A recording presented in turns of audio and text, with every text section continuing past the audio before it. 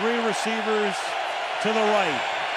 Warner stepping up, buying time, under pressure, trying to sling it away. Was the arm coming forward?